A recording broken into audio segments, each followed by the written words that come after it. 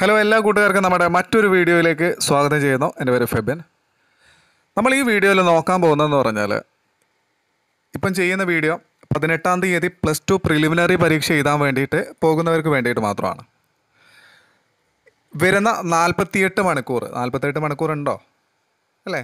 Yes ഏകദേശം നാൽപ്പത്തെട്ട് മണിക്കൂർ നമുക്ക് കൂട്ടാം. ഈ നാൽപ്പത്തെട്ട് മണിക്കൂറിനുള്ളിൽ നമ്മൾ എന്തെല്ലാം കാര്യങ്ങൾ നമ്മൾ ശ്രദ്ധിക്കണമെന്ന കാര്യത്തിനാണ് ഈ വീഡിയോയിലൂടെ പറഞ്ഞു തരാൻ ഉദ്ദേശിച്ചിട്ടുള്ളത്. ഈ വീഡിയോ മുഴുവനായിട്ട് കാണുക. ആദ്യം തന്നെ നമ്മൾ ഓർക്കേണ്ടത് എന്താണെന്ന് വെച്ചാൽ നമ്മൾ മുമ്പ് പഠിച്ച് പൂർത്തീകരിച്ച് വെച്ചിരിക്കുന്ന എന്ന് നമ്മൾ മനസ്സിൽ ഉറപ്പിച്ചിരിക്കുന്ന വിഷയങ്ങൾ കുറച്ച് പേരുണ്ടാവുമല്ലോ. കുറച്ച് വിഷയങ്ങളുണ്ട്. നമ്മൾ ഇനി നോക്കണ്ട എന്ന രീതിയിൽ നമ്മൾ ആദ്യം ചെയ്യേണ്ടത് ആദ്യം ആ ഒരു ഭാഗങ്ങൾ എടുത്തിട്ട് റിവൈസ് ചെയ്ത് നോക്കുക. ഒന്ന് ഓടിച്ച് നോക്കണം. മനസ്സിലായില്ലേ? ആദ്യത്തെ പ്രാവശ്യം നിങ്ങൾക്ക് ഒന്നും ഓർമ്മ ഉണ്ടാവില്ല. പഠിച്ച കാര്യങ്ങളൊക്കെ മറന്നുപോയി എന്ന് തോന്നും. ടെൻഷൻ അടിക്കണ്ട. ഇതൊരു രണ്ടോ മൂന്നോ പ്രാവശ്യം ഒന്ന് റിവൈസ് ചെയ്ത് നോക്കുക കാണാതെ പഠിക്കലല്ല ഒന്ന് വായിച്ചു പോവുക. മനസ്സിലായില്ലേ? മനസ്സിരുത്തിയിട്ടൊന്ന് വായിച്ചു പോവുക. രണ്ടാമത് നിങ്ങൾ ചെയ്യേണ്ടതെന്ന് പറഞ്ഞാൽ അവസാനത്തെ കറണ്ട് അഫേഴ്സ് ഒരുപാട് ക്വസ്റ്റ്യൻസുകളൊന്നും ഇല്ലെങ്കിലും കറണ്ട് അഫേഴ്സുകൾ എന്ത് ചെയ്യുക വെച്ചാൽ ഒരു ആറ് മാസം ഒരു വർഷത്തേക്കുള്ള കറണ്ട് അഫേഴ്സ് പ്രധാനപ്പെട്ട ഏരിയകളുണ്ട് ആ ഏരിയകൾ ഏതൊക്കെയാണെന്നുള്ളത് ഒന്ന് നമ്മളുടെ മാറ്റങ്ങൾ സംഭവിച്ചിരിക്കുന്നത്. അപ്പം തുടങ്ങിയ രീതികളിലേക്കുള്ള ശാസ്ത്ര കല സാഹിത്യ മേഖലകളിലുള്ള കുറച്ച് പ്രധാനപ്പെട്ട രീതികളിലേക്കുള്ള കാര്യങ്ങളൊക്കെ ഒന്ന് നോക്കുക.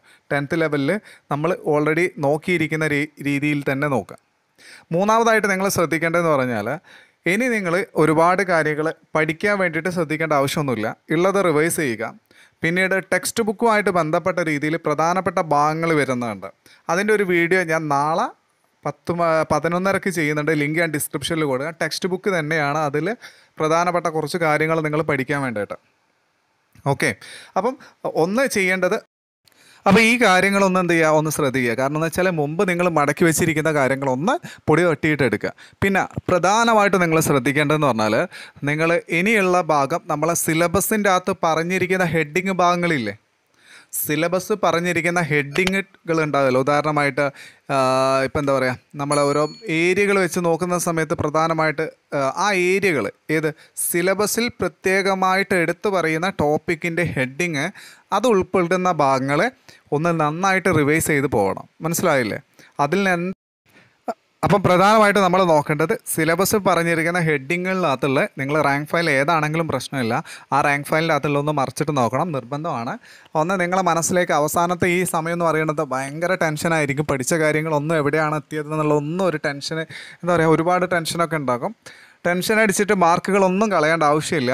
ഈ പ്രാവശ്യത്തെ പരീക്ഷ എന്ന് പറയുന്നത് നിങ്ങൾക്ക് ഓരോരുത്തർക്കും വേണ്ടിയിട്ടുള്ള പരീക്ഷ തന്നെയായിരിക്കും എന്ന മനസ്സിൽ നന്നായിട്ട് ഒരു കോൺഫിഡൻസോട് കൂടിയിട്ട് പഠിക്കാൻ വേണ്ടിയിട്ട് ശ്രമിക്കുക. അപ്പോൾ നമ്മൾ ശ്രദ്ധിക്കേണ്ട കാര്യങ്ങളൊക്കെ എന്താണ്? ഒന്ന് സിലബസിൽ ഉൾപ്പെട്ടിരിക്കുന്ന ഹെഡിങ്ങിൽ വരുന്ന കാര്യങ്ങൾ റാങ്ക് ഫയലിൽ ഒന്ന് വായിച്ചിട്ട് നോക്കുക. അത് മനസ്സിലേക്ക് ഏറ്റവും കൂടുതൽ ക്യാച്ച് ചെയ്യാൻ നമ്മൾ ചെയ്യേണ്ടത് എന്താണെന്ന് വെച്ചാൽ ഹൈലൈറ്റർ ഉണ്ടെങ്കിൽ ഒന്ന് ഹൈലൈറ്റ് ചെയ്ത് പോവുക. ഉറപ്പാണ് നിങ്ങൾക്ക് ആ ഒരു ക്വസ്റ്റ്യൻ നിങ്ങൾക്ക് വരികയാണെങ്കിൽ എന്ത് ചെയ്യും? പരീക്ഷാ ഹാളിന് ആ ഹൈലൈറ്റ് ചെയ്തിരിക്കുന്ന കാര്യം മനസ്സിൽ നന്നായിട്ട് ഓർത്തിരിക്കും കേട്ടോ? അപ്പോൾ അത്തരത്തിലുള്ള കാര്യങ്ങളൊന്ന് ചെയ്യുക. പിന്നീടെന്ന് പറഞ്ഞാൽ മാക്സിമം നിങ്ങൾ ഒരുപാട് ക്വസ്റ്റ്യൻസുകളൊക്കെ ഒന്ന് കുറച്ചുള്ളത് നോക്കുക. ഒരുപാട് ടെൻഷനും കാര്യങ്ങളൊക്കെ ടെൻഷൻ ഫ്രീ ആവുക അത്യാവശ്യം നല്ല രീതിയിലുള്ള എക്സാം ആയിരിക്കും. അതുകൊണ്ട് നിങ്ങൾ പേടിക്കേണ്ട ആവശ്യമൊന്നുമില്ല.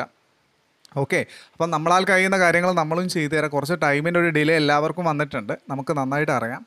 പക്ഷേ നിങ്ങൾ പ്രത്യേകം ശ്രദ്ധിക്കുക മുമ്പത്തെ കാര്യങ്ങളൊന്ന് നന്നായിട്ട് എടുത്ത് നോക്കുക.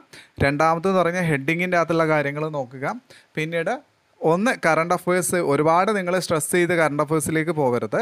പിന്നീട് പുതുതായിട്ട് വന്നിരിക്കുന്ന ടോപ്പിക്സുകളുണ്ട് ആ പുതുതായി വന്നുള്ള ടോപ്പിക്സുകളുടെ അകത്ത് നിന്ന് ചോദ്യങ്ങൾ ഉണ്ടാകും. അത് നമുക്ക് സിലബസ് പ്രകാരം റാങ്ക് ഫയലിന്റെ അകത്തുള്ളത് നോക്കിയാൽ നിങ്ങൾക്ക് ആ ഒരു ഭാഗം ക്ലിയർ ആയിട്ട് കിട്ടുന്നതാണ്. ഓക്കെ അപ്പോൾ വേറെ എന്തെങ്കിലും ഡൗട്ടോ കാര്യങ്ങളോ നിങ്ങൾക്ക് എന്തെങ്കിലും ബുദ്ധിമുട്ടായിട്ട് തോന്നുന്നുണ്ടെങ്കിൽ നിങ്ങൾക്ക് ഒന്ന് കമന്റ് ആയിട്ട് ചോദിക്കാം. ഞാൻ അതിന് മറുപടിയും കാര്യങ്ങളോ നൽകാം കേട്ടോ. ഓക്കെ